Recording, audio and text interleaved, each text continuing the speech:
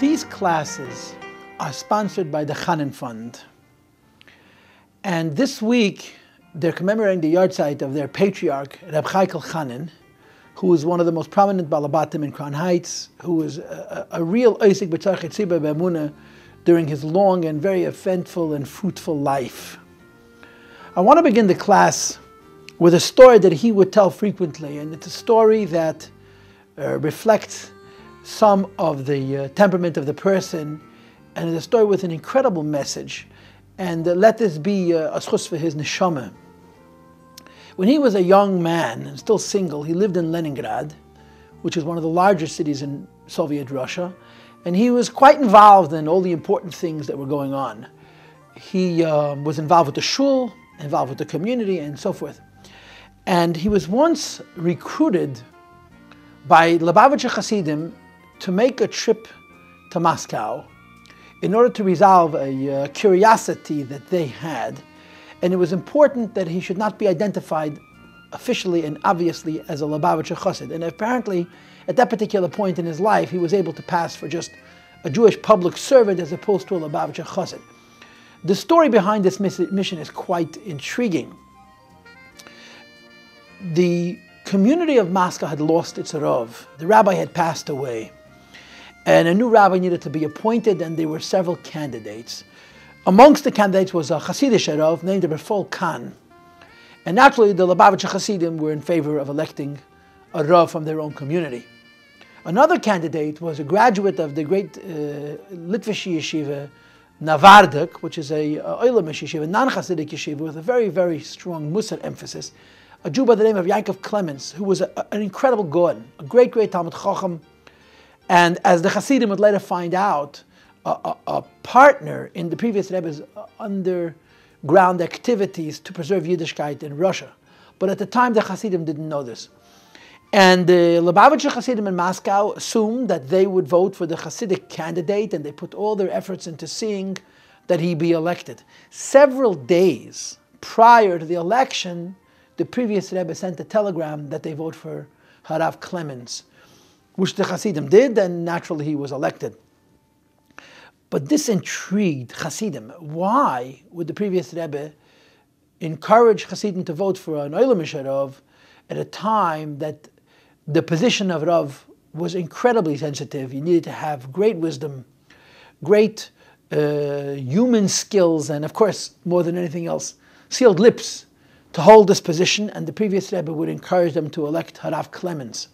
So they sent the then young Chaikel Chanin to Moscow to find out who this Rav was.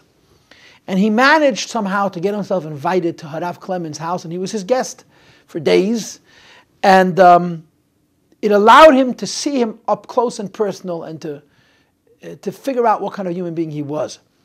And uh, he witnessed two events which were sufficient to uh, enlighten him as to why the previous Rebbe had encouraged them to vote for an Oilamisher Rav.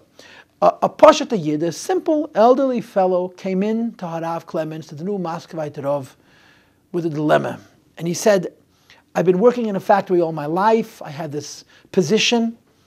And uh, I've reached the stage in my life where I've, if I don't come in on Shabbos, my life is going to be destroyed. I mean, the least of my problems will be that I'll lose my job. They'll accuse me of being a parasite. They'll do who knows what. I, have got to go into work on Shabbos. I've never been Machal Shabbos in my life. What should I do?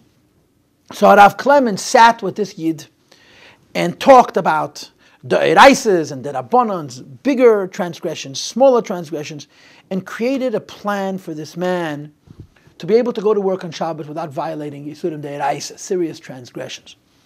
And he encouraged him. When this person heard this suggestion, and he had a plan of how to approach what he would and wouldn't do on Shabbos in his place of work, he burst into tears and he said, You know, I've been keeping my Shabbos, Shabbos all my life. Why is Hashem putting me through this test? And when Rav Clemens saw this Yid cry, he cried with him. And the two of them cried together.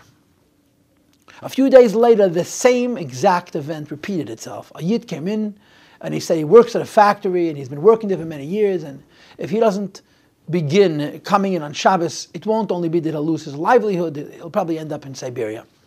The second person was a scholar, however, and he knew Hilchas Shabbos, and he had worked out all the Heterim. He, he came to the rabbi prepared, as it were, to explain to the rabbi what he would be allowed to do and what he wouldn't be allowed to do it, and how he would do it, and so forth.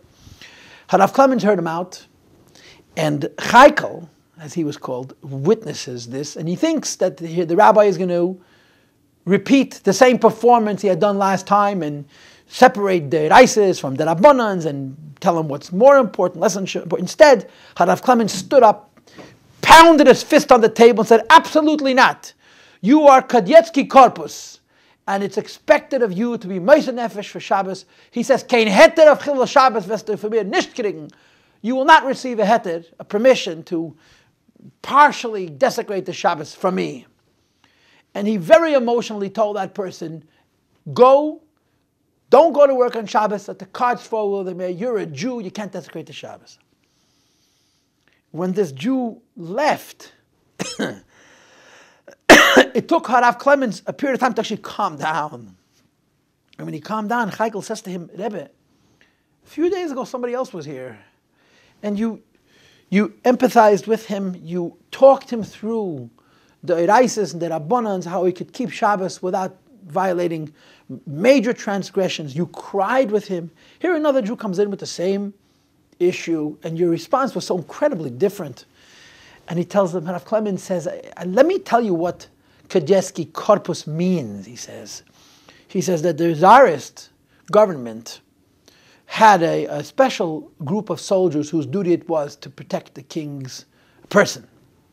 And these were elite soldiers whose training began in infancy. They would literally adopt them as children. They'd be fed the best foods, given the best accommodations, given the most ideal lives, and their entire upbringing revolved around being trained to protect the king.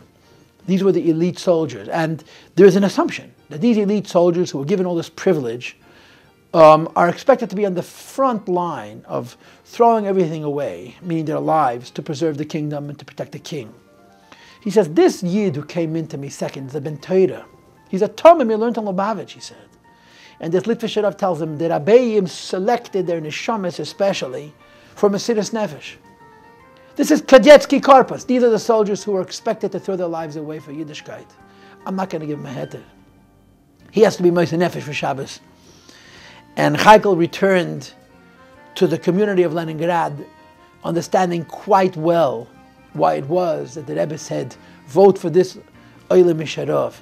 And as I told you earlier, it later turned out that he, in fact, was incredibly involved in the Frierdiker Rebbe's activities. If you read the previous Rebbe's letters, you will read that there was a committee of five who worked with the previous Rebbe on preserving Yiddishkeit. One of those five men, all big Talmid Chacham and big Oinim, was this Harav Clemens who sat in on meetings where the previous Rebbe oversaw the meetings, and just for the record, the secretary of many of those meetings was a young man by the name of Mem Shin.